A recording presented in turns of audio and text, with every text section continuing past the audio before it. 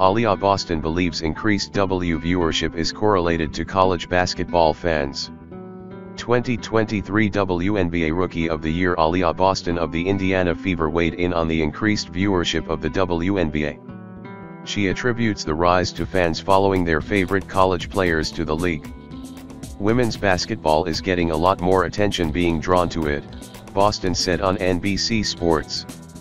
I think that's all we can really ask for is just the continued viewership just going up, more people paying attention. As you continue to show more games, the revenue will come because, as you can tell, there are people interested. There are so many people interested in watching the W, and I think a big part of that is fan bases from college following their players into the league, which is amazing.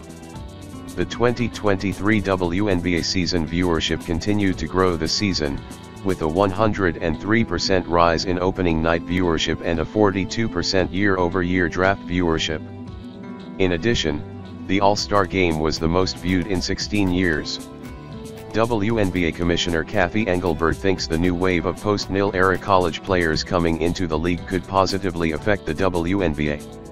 It's just going to be really interesting to see those players come into our league with big followings and see what that does to lift the viewership and the engagement in our league, Engelbert said. As the viewership increases, so will media deals and partnerships. The next to follow would be increased salaries for players, more revenue for better facilities akin to the Las Vegas Aces headquarters, and potentially more expansion teams.